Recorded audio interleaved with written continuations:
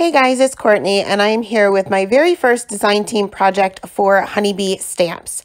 Today we're going to be creating a one layer scene using the Treat Shop add-on stamp set, which actually goes with the House Builder die, but I'm going to use it for a one layer scene. And we're going to be talking a little bit about perspective today.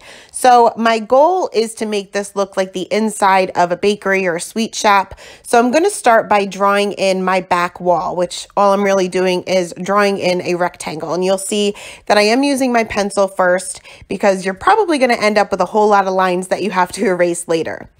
Next, I'm going to find the center of this rectangle. And all I'm going to do is meet the diagonal corners and draw a little X there so that at that middle of the X is my center. And that's going to be basically the point that I'm going to use for every single object that I draw in. So I drew the wall where, where, where one wall meets the other as well as the floor. And then I'm going to go ahead and draw in my flooring and I want this to be kind of like a tile floor. So I'm just going to evenly space out each one of the lines and I'm just using my ruler to do this. And then I'm going to start on those little dots and line up my ruler so that it goes right on that center portion of that rectangle all the way down. So these are going to look a little wonky at first, but it's all perspective. And once everything kind of comes together, it will make sense. The further out to the side that we get, the more angled those lines are going to be.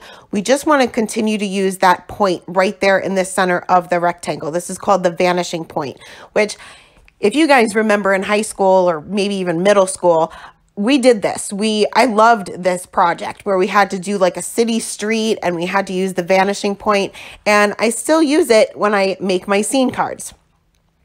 So you can see that now I have my floor all drawn in and next I'm going to work on a door. Now my vertical lines are going to be exactly vertical, but the top portion of the door, I'm going to use that vanishing point again. I am also going to draw a a door frame because I want the main door to be glass. So again, I'm using that vanishing point just for the top portion of the door and the other two lines will be completely vertical. So I want to draw in a counter and this I don't have to worry about that vanishing point. I'm just pretty much straight lines, pretty much like the whole card. And I am going to draw a countertop and then the edge of the countertop as well as I guess it would be the other side of the cabinets. So you wouldn't actually see the cabinets from the end that we're looking at. But once everything is colored, you'll kind of get the idea of what it's supposed to be. Next, I now that I have everything drawn in, I can go ahead and start my stamping. I'm not going to make any of these lines permanent until I'm happy with the placement of my images. So I want to start off with my table. Now the table in this stamp set has an umbrella. Well, this is not an outdoor scene, so I'm going to mask off the umbrella, but I also want these two little sundaes to look like they're on the table. So I'm going to need to stamp those first. So I line them up directly onto that stamp so I know my placement would be right. And then I can go ahead and stamp this out. I'm using blackout ink. It's a Copic Safe ink. And I'm also stamping this onto a scrap piece of post-it note tape and I just cut out little masks for that. Next, I can go ahead and stamp out the table itself.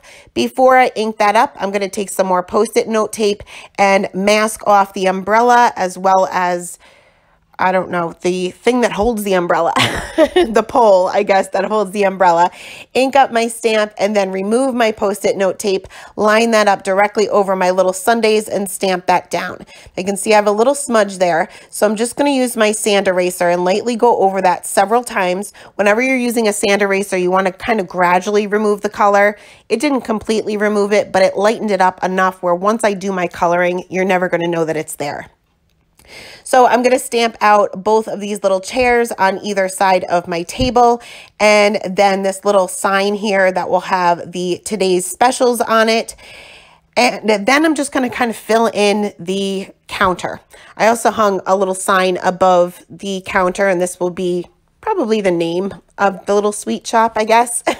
and I'm going to fill up the counter with a whole bunch of things cakes and cupcakes and candy and everything else. Now, a lot of these stamps go together, so you can either use them by themselves or together, like this little jar off to the left-hand side. There's little pieces of candy that you can put inside the jar. You can put lollipops inside the jar, whatever you choose.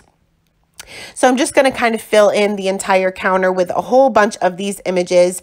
And then I'm also going to stamp out some of the words. So I'm going to use the Sweet Shop sentiment right there in the center of my sign. And again, I'm sticking with the Copic Safe ink because I'm going to color in this sign. And then I'm going to stamp the today's specials on that special sign. now that everything is stamped out, I am going to go ahead and go over all of my lines with a Copic Safe pen. Again, I'm going to bring out my ruler because I can't trust myself to draw a straight line and I'm just being careful to go around each one of my images.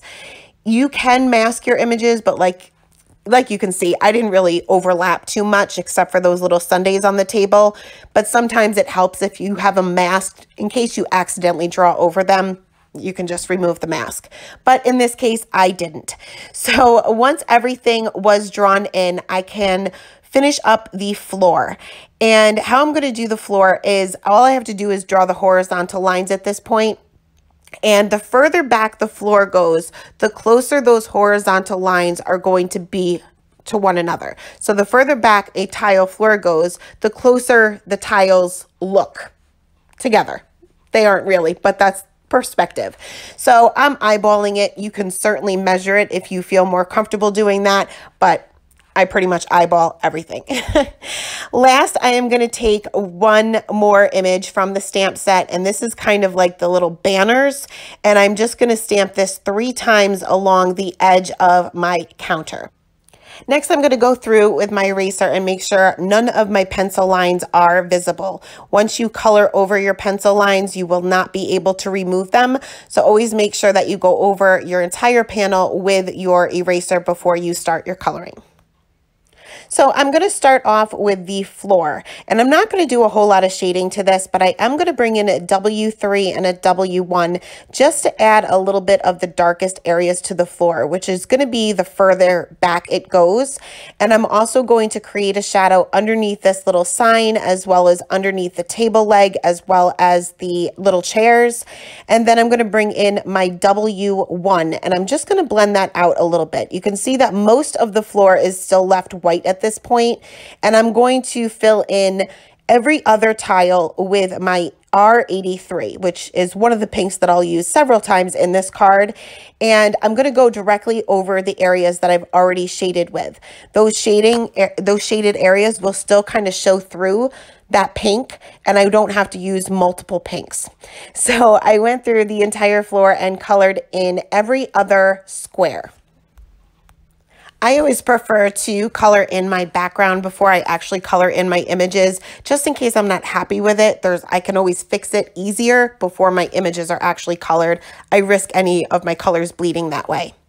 So next I'm going to move on to the walls and I wasn't sure if I wanted to give these a lot of color, but I figured I'll just leave these white. So I am going to add shading. Anything that's white is still going to have shadows on it. So I'm just going to add a little bit of shading with my C5 from the bottom or the bottom portion of the wall. So basically where the wall meets the floor. And then I'm also going to add a little bit of a shadow on the corner of the wall with just the C5. Then I'm going to move on to the C3 and I'm going to blend these out a little bit further. And here's where I'm going to add a little bit of shadow to the left-hand side of the door, as well as to the left-hand side and bottom of the sign that's hanging on the wall.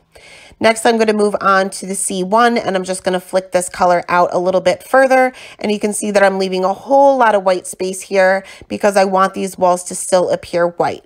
I'm going to finish off with this C double zero, and this will just get rid of some of those flick lines. I ended up going over the entire thing, but it's such a light gray that it pretty much just looks white anyway.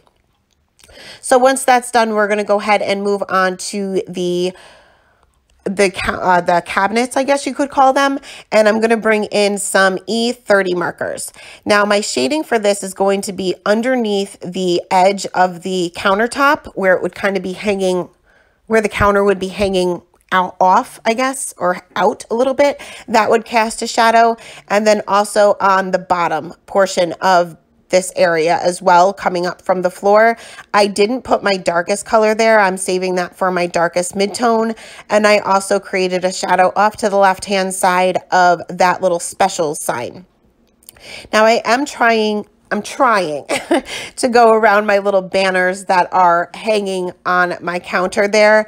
But honestly, if you accidentally go over them, the colors that I'm using are light enough where I can go directly over them with a color and you're probably not going to be able to tell the difference. I was a little careful, but I could have probably used a little bit more caution, but it all worked out in the end. So I blended that out with the E33 and then I'll move on to the E31 and you can see that I am going around each one of these banners quickly, but I am going around them.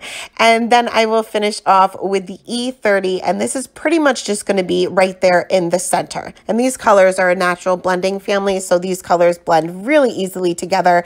I didn't even go in with my lightest color first. I went right in with my darkest. So next we're going to move on to the countertop itself. And again, I kind of played around in my mind what color I wanted this to be. And ultimately I decided to go with the warm grays. So the countertop is going to be darkest the further back it gets, just like the floor is. So the further back the counter is, so the closest to the wall behind, uh, behind it is going to be the darkest. And there's also going to be a shadow underneath each one of those objects that I stamped on top. So I, again, I'm going to start right with my darkest color. The grays, whether it be cool grays or warm, warm grays, they typically blend really nicely together. So you don't necessarily need to get your paper super saturated in order to get these colors to blend. So I am going also with the edge of the counter that's kind of hanging off the side.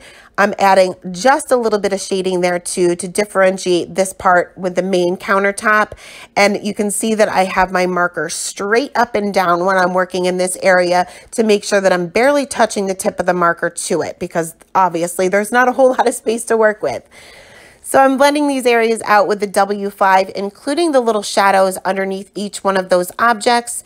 And then I'll move on to the W3 and I'm going to do the same exact thing, extending those shadows out and extending that shading out on the counter itself. And then I will finish off with the W1 and this will pretty much just be on the part of the counter that is closest to us. So next we are going to go ahead and pretty much color everything else. And I used a couple different color combinations for everything. And I wanted everything to be really, really bright and pastel-like. So you'll see that I'll bring in the pinks a lot. And here I'm going to just add a little bit of color to the window. And I'm just going in solid with the BG11. And then I'm going to take my colorless blender and I'm just going to go over, make straight lines basically. And this will just be the reflection within the door. And I'll deepen up the reflection a little bit once all the coloring is complete with a white gel pen. So next we're going to go ahead and color in everything. everything. So I'm going to start off with the sign here and I'm going to bring back out those R80 markers. And I am going to get this paper saturated a little bit first. So I'm going to color this in with my lightest color first. And then I'm going to go in with what I refer to as the scary dark color. So anytime you're looking for to get a lot of contrast within your coloring, bring in a scary dark. And the scary dark is significantly darker than what you want your image to be. But if you use it sparingly, I trust me, it will give you the results that you're looking for. It'll give you a whole lot of contrast. So I just added that shading off to the left-hand side and blended that out each time with the same ones, same markers as I used before. Now I'm going to kind of skip around and I'm going to bring out some more BG markers, this time more than just one, and I'm going to color in the table as well as the chairs. And again, starting off with my darkest color, because these are pretty tiny areas and I don't want to risk my color bleeding. So when you're working with smaller areas and you want to try to fit in as many colors as you want in order to get that contrast, I definitely recommend starting off with your darkest color. They may not blend as well as you'd like them to, but being at such a small area, nobody's ever going to know the difference. And being that you're not overly oversaturating the paper, your colors are less likely to bleed. In an area like this, if my colors bled, especially that darkest BG marker, probably would never be able to remove it. So you can see I also added a shadow underneath each one of my little sundaes that are sitting on the tables. And next I'm going to move on to some of the things that are on the counter. And you'll see that I skip around a lot because I really wasn't, I didn't have a plan in my head as far as the color combinations I wanted to use. So I kind of kept going back and forth. So for this cake stand, I wanted this to make it look as if it was metal. So I'm using those C markers again, but you'll see that I'm not leaving any white space this time. So I'm using pretty much the same color combination that I did for the walls, but I'm using more of my darkest colors and I'm not leaving any white space. So that's gonna differentiate between a gray or a silver object versus a white object. So I did the same thing for that little gumball machine and the base of that little cake plate there. And then I'm going to move on to the door frame. I told you I'm skipping around a lot. so I'm just going to add a little bit of that shading towards the bottom where the door frame actually meets the floor. And then I'm going to blend that out with the two midtones and the lightest area is going to be on the very top. So I'm saving that for my V01. And after the door frame is all done, I'm going to go ahead and bring out a combination that I kind of wish I would have left out of the card, and it's more of a, yellow-green combination. I should have gone for more of a mint green because this kind of stands out, but it is what it is. And I'm going to color the specials sign. And again, I'm going to add my shading off to the left-hand side. You can see that my darkest color is actually a G marker and all the others will be YG markers. So you can interchange color families, but also the G marker is what I refer to as the scary dark, and that's what's going to give that contrast. So blending that out with the YG07, then the YG03, and then I'll finish off with the YG21, which is super bright. Very, very bright. Next, I'm going to move on to the cake and I'm going to bring back out my BG markers. And now this is a round object. Each tier of this cake is a round object. Anytime you're coloring a round object, you want to leave somewhat of a larger center highlight. And this is what's really going to give you the shape. So I'm using flicking motions to add some shading on either side of each one of these tiers. And again, I'm only adding a little bit of these darker colors and leaving a pretty large area for that highlight color, much larger than I normally would. And this is what's gonna make these each one of these tiers appear to be round. So again, I'm going to kind of skip back and forth coloring different objects, bringing out different color combinations, but pretty much going back to the ones that I've already used. So for this little cupcake, there's not a whole lot of room to work with. So whenever you're looking to get contrast in a teeny tiny area like that, you're better off just using two colors, but you don't want two colors that are similar to one another.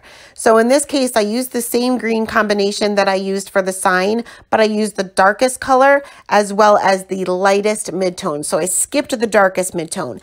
That way the two colors are far enough apart from each other where I'm still going to get that contrast. Now I'm just going through and coloring in all of the other objects here pretty much not bringing in any other color combination other than the ones I've already used before.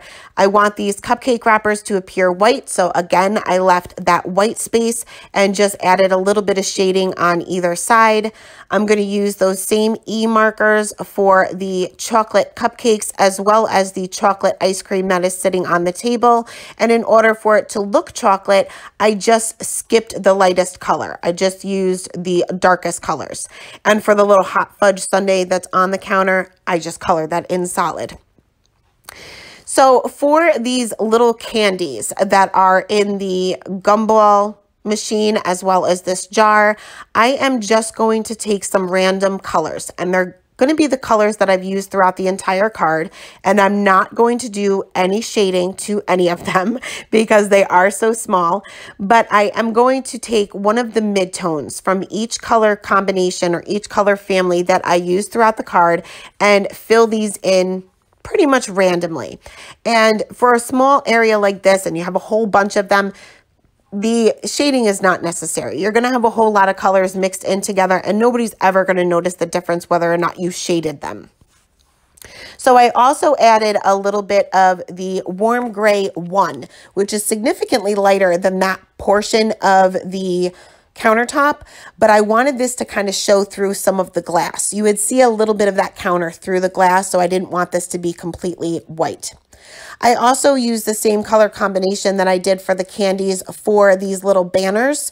And again, just kind of mix them all up and use those mid-tone colors. Next, I'm going to bring back out that R80 combination that I've used several times throughout the card, and I'm going to go ahead and color the open sign that's hanging on the door. And again, just use added my shading off to the left-hand side, leaving the right-hand side for my highlight. Also going to finish off the frame of my sign that's hanging on the wall. I'm going to bring back out those V markers and add my shading to the same area that I've added my shading with the R80 markers. So it kind of matches up. And as you can see, I added a few little squiggly lines to my special sign there just to make it look as if there was something there and there's actually some specials today. Once all of my coloring was finally complete, I can go through and add some details with my white gel pen. And I'm going to add some reflections as well as some details to the cake. So I deepened up some of the reflections that are in the door and kind of just went over the same area that is that I used the colorless blender on. I added some highlights to the glass areas as well as some polka dots to the cake just to kind of give that some texture, I guess you could say. So once all of that was done, we are going to move on to the inside of the card and I'm using a sentiment from the Sweet Treats stamp set and I'm just using my grid mat here to line up the two sentiments, making sure that they are straight before popping them onto an acrylic block stamping these out with VersaFine Onyx Black ink right there in the center of the inside of my card. And then I will take three of the little images from the treat shop add-on stamp set, the little popsicles and little ice cream cone. And I'm just going to stamp those right in the corner, in the bottom left-hand corner with that same VersaFine Onyx Black ink. And this will just add a little something to the inside. So I'm going to adhere my main panel to the my card base here, I prefer to use wet glue. That way I have a few seconds to move things around if I need to. I'm not great at lining things up the first time. And once that is dry, I'm going to add a little bit of glossy accents to just the areas that are glass with the exception of the door. So the bubblegum machine, the candy dish, as well as the cupcake stand or the cupcake holder, I guess. And then I'll finish off with some shimmer with a Nuvo Aqua Shimmer Pen to a whole bunch of different areas. And that is it. As always, I will leave all of the supplies that I used today in the description box below. Thank you guys so much for stopping by and have a great day. Bye.